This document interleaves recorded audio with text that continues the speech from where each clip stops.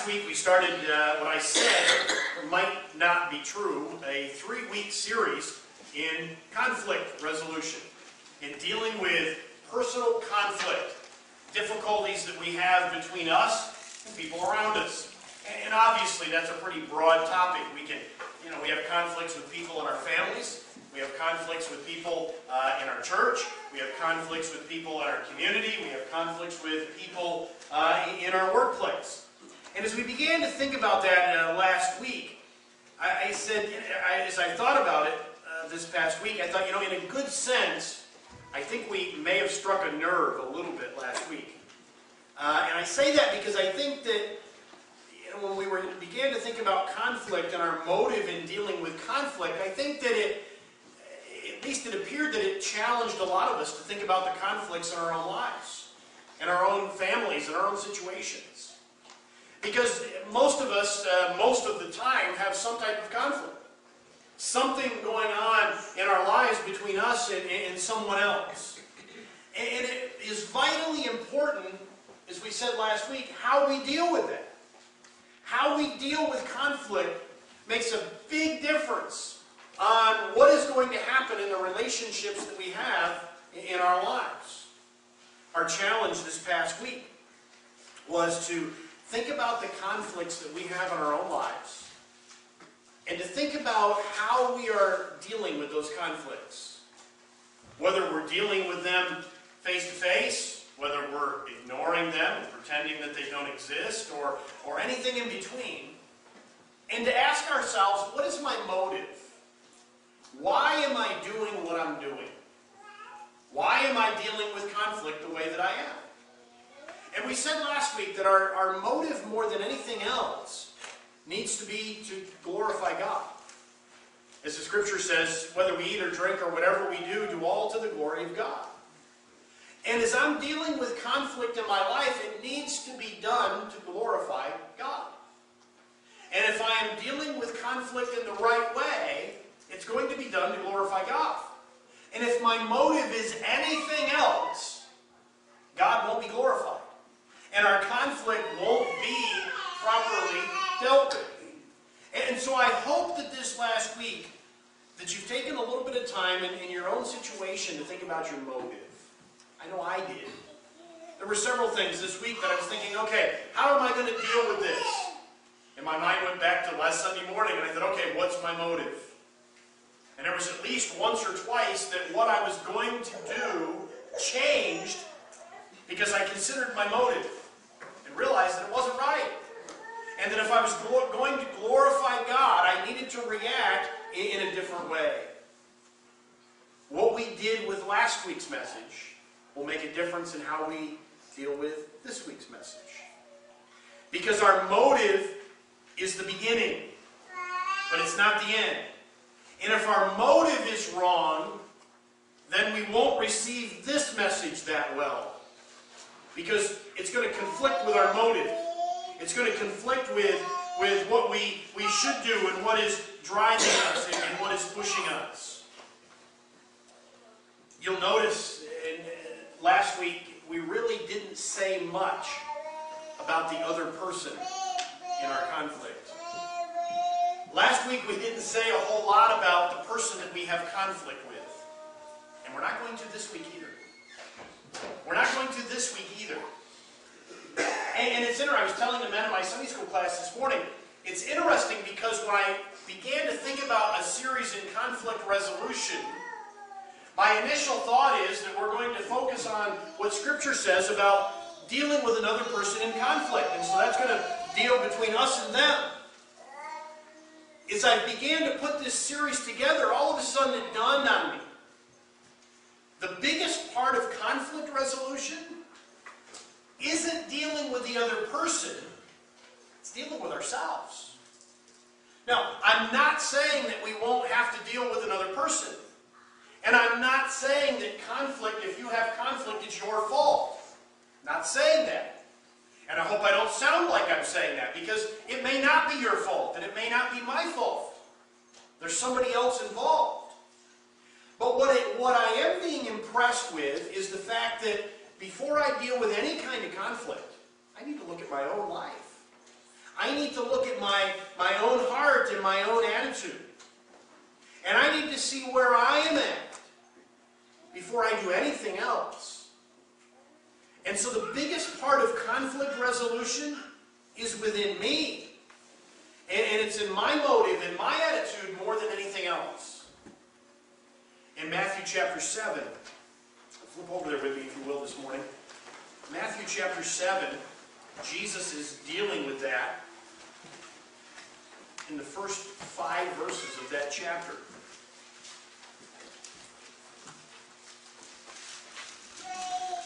In Matthew chapter 7, Jesus said, Judge not that you be not judged. For with the judgment you pronounce, you will be judged. And with the measure that you use it will be measured to you. Why do you see the speck that is in your brother's eye, and do not notice the log that is in your own eye? Or how can you say to your brother, Let me take the speck out of your eye when there's a log in your own eye? And then Jesus says, You hypocrite. First take the log out of your own eye, and then you will see clearly to take the speck out of your brother's eye. And then he says in verse 6, Do not give dogs what is holy, and do not throw your pearls before pigs, lest they trample them underfoot and turn and attack you. Jesus here is warning his listeners that before they deal with conflict in somebody else, that they need to look at their own lives. They need to look at themselves first. As I've thought about this passage for the last couple of weeks, it dawned on me again that this is probably one of the most misunderstood and misquoted passages in the whole Bible. How many times have you ever uh, said, you know, such and such is wrong, and had somebody look at you and say, well, the Bible says don't judge lest you be judged. And, and they're completely misquoting that passage of Scripture.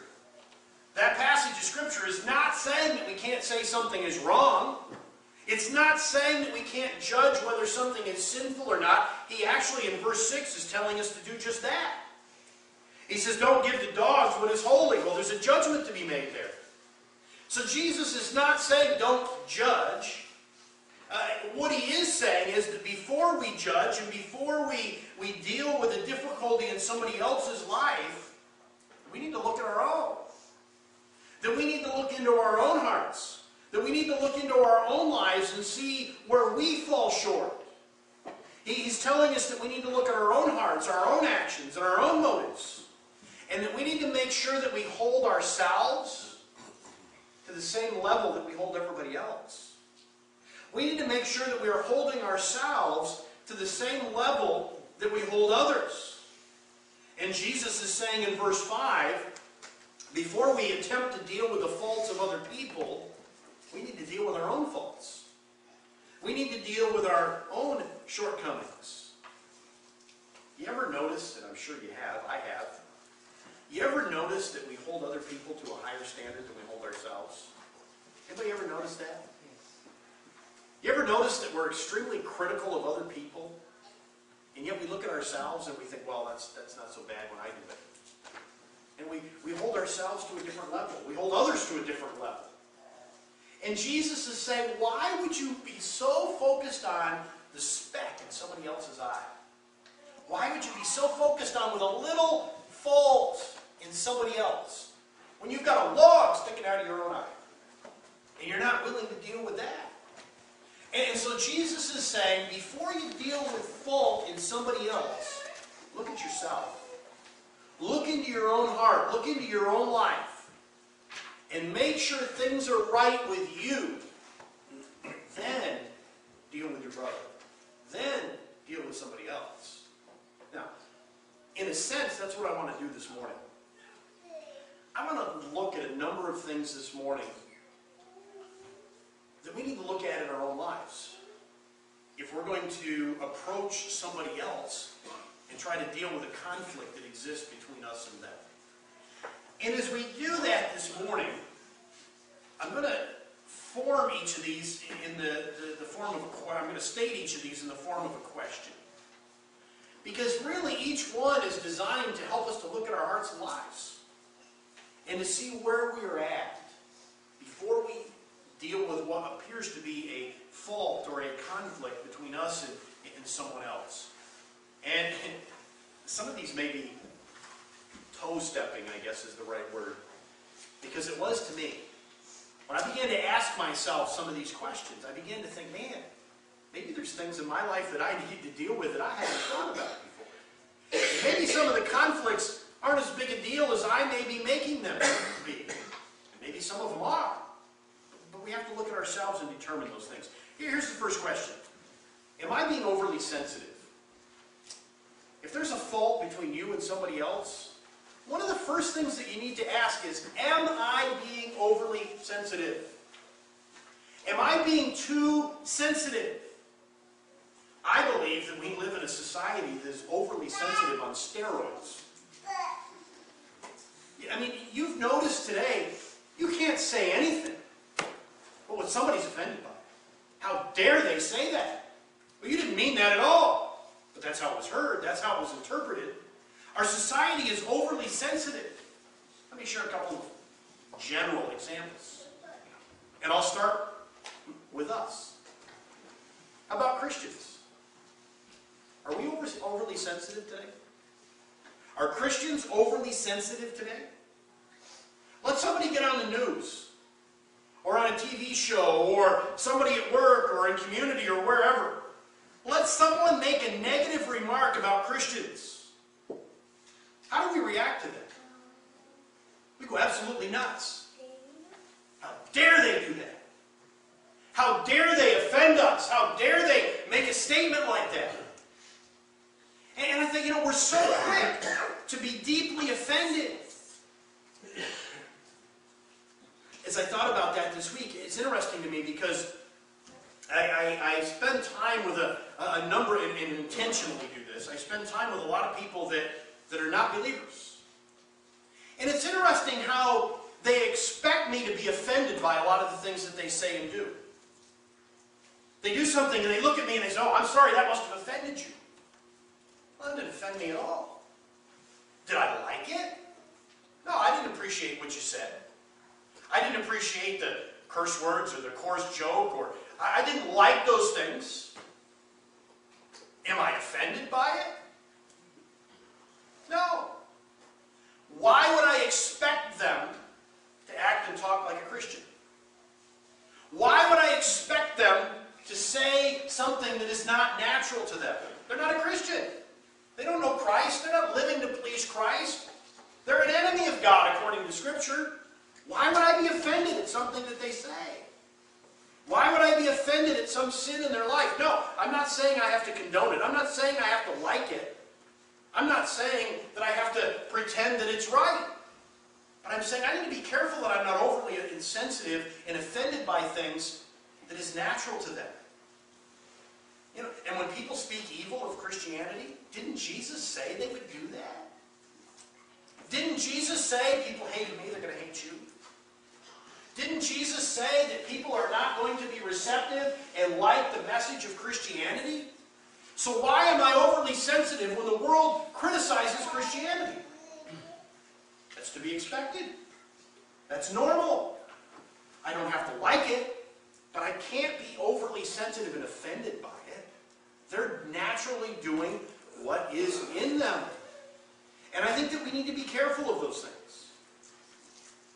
I, I was also thinking, and I realize some of these are, again, touchy issues because we live in a sensitive society.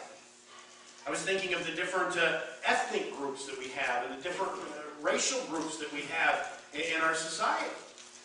And, and, I thought, you know, when one uh, race or one group makes a comment about another, all of a sudden the little hairs on the back of the neck go up and there's horrible offense.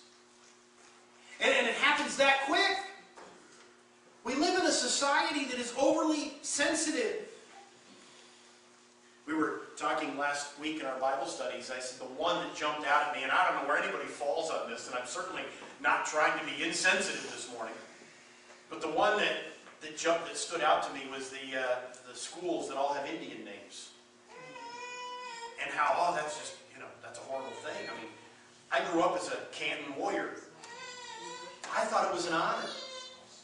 That wasn't offensive. It wasn't meant to be offensive. It wasn't meant to put the Indian people down and lift somebody else up. It wasn't designed that way. And yet our society is like, oh, you can't mention this because we're going to be offended. And I wonder as I say that, how many conflicts exist because people are overly sensitive to things that other people say and do. They may not have been meant to hurt or be offensive at all. And, and, at times we need to look at our own hearts and our own lives when there's conflict between us and somebody else and ask, am I being overly sensitive here? Am I being bothered by something that really shouldn't bother me? The same thing is true in families. How many times are people, people deeply offended by things that were said or done uh, in, in a family? How many family members today do not get along with one another? Because they were oversensitive to things that were said within the context of a family situation. And you know one of the easiest ways to tell it? I thought about this, and I, I'll share this example. You know one of the easiest ways to tell? And I'm just speaking generally, but we'll, we'll say you come to me and say, you know, we have a real conflict. Uh, my family's not getting along. My first question to you is going to be why? What's the situation? If you're embarrassed to tell me the situation, probably you're being overly sensitive. Because if you're embarrassed to be that upset over the situation, probably it wasn't that big a deal. And you're probably being oversensitive. And, and I say you, I'm as guilty as anybody else is. But when we're dealing with conflict, we have to look at ourselves first and ask, am I being overly sensitive? Am I all bent out of shape over something that really shouldn't bother me at all? Second question we need to ask ourselves, and it kind of these kind of go together. Is the offense, is the fault uh, that's causing the conflict between me and somebody else, is it something that I just need to let go? Is it something that I just need to let go? Psalm, or I'm sorry, Proverbs chapter 19, verse 11. It says, A man's wisdom gives him patience. It is to his glory to overlook an offense. Proverbs 17, verse 14. Starting a quarrel is like breaching a dam. So drop the matter before the dispute breaks out. 1 Peter chapter 4, verse 8. Peter says, above all, love each other deeply, because love covers a multitude of sin. Is the fault that is causing the conflict between me and somebody else something that I just need to let go? Is it one of those things that are a multitude of sin that I just need to say, okay, I'm going to put it behind me? Letting it go is a form of forgiveness. Letting it go is a form of forgiveness. It's, say, it's not saying that it didn't hurt me. It's not saying that it didn't offend me. It's not pretending that it didn't hurt. It's not pretending that it didn't offend me. It's making a conscious decision that I'm going to forgive it and let it go. I'm going to forgive it and put it behind me, and I'm not going to bring it up again. And it's not going to hinder my relationship with this other person doing that really is imitating God's forgiveness of us. And it can't be done with everything. I'll say that now, and we're going to talk about that more, if not this week, next week. That can't be done with everything. But it can with many things. And in doing that is imitating God's forgiveness. In Psalm 103, we read earlier, it says, The Lord is merciful and gracious, slow to anger, abounding in mercy. He will not always strive with us, nor will he keep his anger forever. He has not dealt with us according to our sins, nor punished us according to our iniquities. Later on in that psalm, it says that He understands that we are dust. God understands that, that uh, we're human and that we fall short. Do we understand that with the people that we have conflict with? Do we understand with people that we have conflict with that they're human and that they fall short? God understands that about us. And, and God, in His mercy and in His love, certainly through the sacrifice of Jesus Christ, forgives us of our sin. In Ephesians 4, chapter, thir- chapter 4, verse 32, Paul says, Be kind to one another, tenderhearted, forgiving one another, even as God in Christ forgave you. Sometimes, some sins, or not sins, some offenses against us, we need to overlook. We need to let go. Just as God forgives us. Now, you certainly can't do that with every offense. And there's some things you shouldn't do that. If, if an offense has created a wall between you and another person, and it's caused you to feel, I don't know how to word this, feel differently toward that person for an extended period of time, you can't overlook that. You can't just let that go. That needs to be dealt with. And we're going to talk more about how to do that in the next couple of weeks. But, it, you know, if, if the offense has put a wall between you and another person and, and damaged your relationship, then you can't just overlook it. It has to be dealt with. If the offense uh, is a sin against God, then you have to deal with it. You, you have to confront that sin and you have to deal with it according to what the scripture says. And we're not going to get into that this morning. We're going to talk about that more uh, beginning next week. But we need to look at an offense against us and ask, is it something that I can just forgive and let go? Is it something that I'm being overly sensitive about? And again, I need to let it go. Another question we need to ask ourselves. Is the personal conflict worth it? Is the conflict that exists between me and another person, is it worth it? Is it worth the conflict? Is it worth the cost? Jesus said in Matthew chapter 5, beginning at verse 25, He says, Agree with your adversary, the person you have a conflict with. Agree with your adversary quickly while you are on the way with him, lest your adversary deliver you to the judge, and the judge hand you to the officer, and you be thrown into prison. Assuredly, I say to you, you will by no means get out of there till you have paid the last penny. Now, what is that saying? Jesus is saying conflict has a cost. And, Jesus is saying, you and I had better deal with our conflict quickly cost grows. And before it gets more expensive, and before it gets more costly in a number of ways.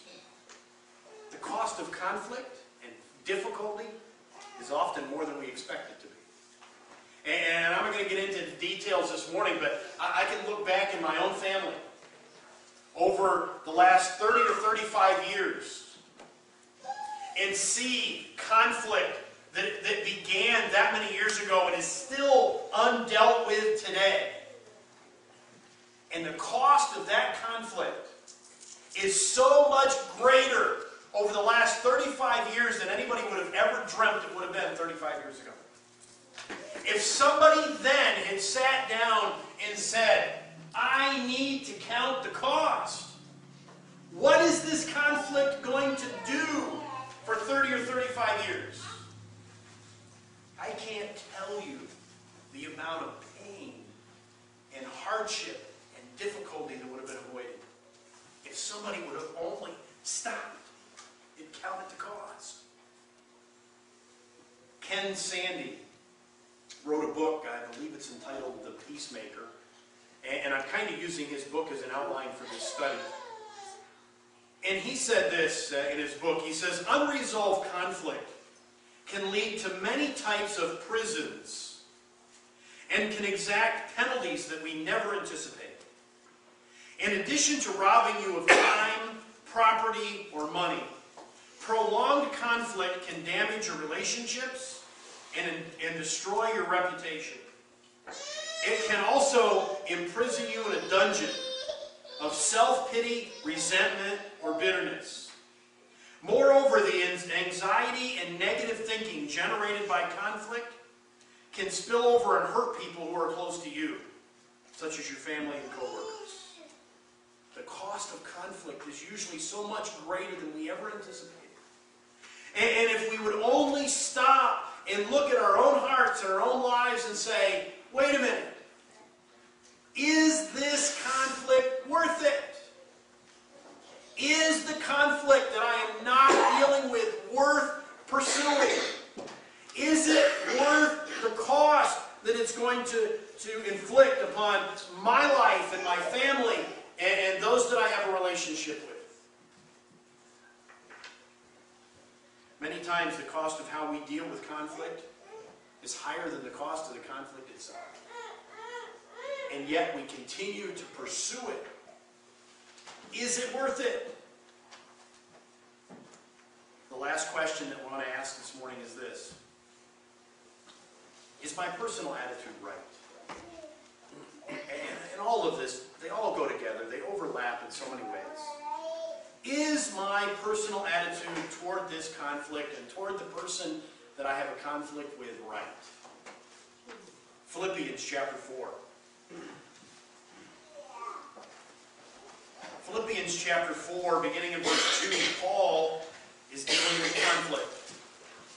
And he's dealing with a conflict between at least two people, if not more, in the church of Philippi. And, and really, we don't know much about what this conflict was. We do know that in a short letter like Philippians, it was important enough that Paul wrote about it.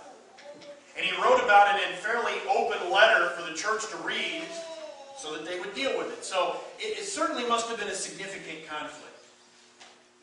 Paul says in Philippians 4, beginning in verse 2, he says, I implore Euodia and I implore Syntyche to be of the same mind in the Lord. And I urge you also, true companion, which most believe is another person involved. Help these women who labored with me in the gospel, with Clement also, and the rest of my fellow workers whose names are in the book of life. Rejoice always in the Lord. Again, I say rejoice. Let your, excuse me, let your gentleness be known to all men. The Lord is at hand. Be anxious for nothing, but in everything by prayer and supplication. With thanksgiving, let your requests be made known to God. And the peace of God, which surpasses all understanding, will guard your hearts and minds through Christ Jesus. Finally, my brethren, whatever things are true, whatever things are noble, whatever things are just, whatever things are pure, whatever things are lovely, whatever things are of a good report, if there is any virtue, and if there is anything praiseworthy, meditate on these things. The things which you learned and received and heard and saw in me, these do, and the God of peace will be with you. Now, there's a conflict. There's a battle that's going on in the church between these, these women. And, and Paul is, is writing to them. Now, here's the interesting thing to me. And this fits with what we're, we're talking about this morning. It, it's interesting that Paul, and I've, I've, practiced saying these names all week, so I got to say them a couple of times to make it worth my effort. He, he talks to Euodia, and he talks to Syntyche. I actually looked that up online and found a pronunciation guide that read it out loud. I'm not sure how close that is, but it's closer than I would have been a week ago. But uh, Euodia and Syntyche, he writes to them. Notice what he doesn't tell them. He doesn't say to them, sit down and talk to each other. Now, it would get to that, but he doesn't say that. He doesn't say, approach one another and, and talk it out. Notice what he says. Everything he says revolves around their own heart and their own attitude. He tells them, look at yourself, in so many words. He says to them, as they're battling and as he's telling them that they need to work it out, he says, Rejoice in the Lord. That's an attitude. That's an attitude. And he says again in verse 4, Again, I say, rejoice. That's an attitude. He says, Let your gentleness be known to all men. That's an attitude. He's not saying, Euodia, let Syntyche's gentleness be seen. He says, no, no, no. Let your gentleness be seen. You have the right attitude. You have the right spirit. See, they're, they're being told to look at themselves. He says, let your gentleness be known. Be anxious for nothing, but in everything, by prayer and supplication. What's he saying? Look at yourself. Look at yourself. Go to prayer. Ask God. Take it to Him. Let Him give you peace. And then as he, as he goes on down through it, he says, okay, think on things that are just and true and right, and those things of a good report. Now, if you're in the middle of conflict, what are you thinking?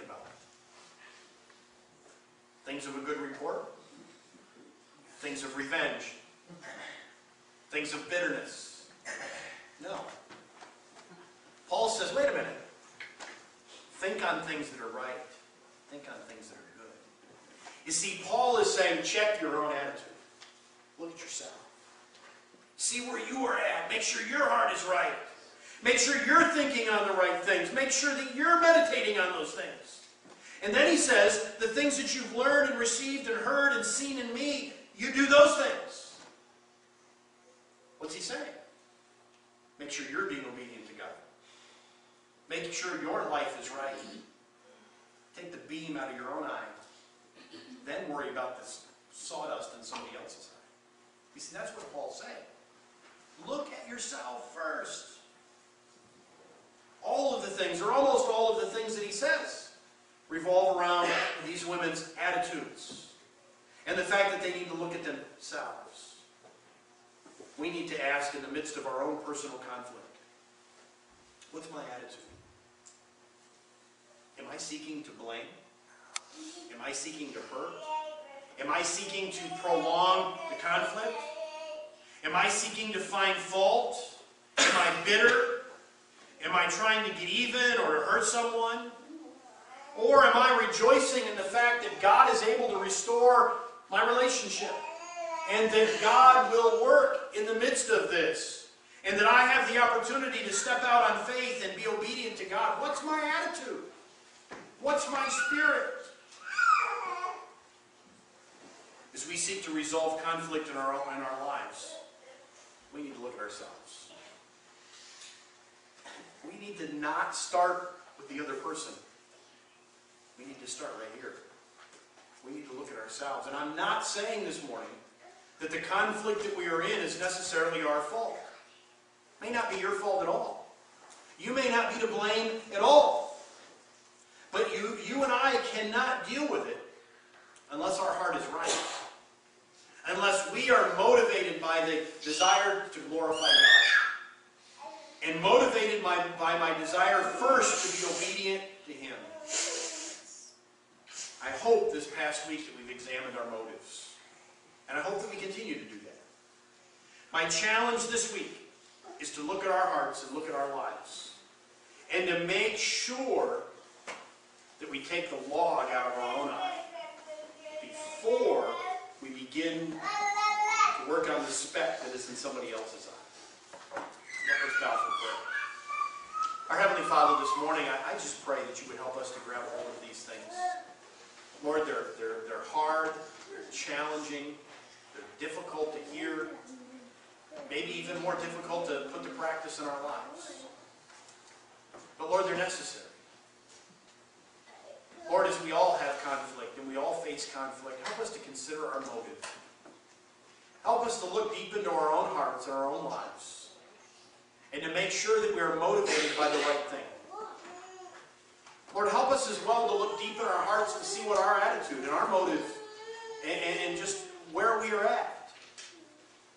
Lord, help us to make sure that we take the log out of our own eye before we ever attempt to take the speck out of somebody else's. Lord, again, help us to understand, help us to lean on you and step out in obedience to practice these things in our lives.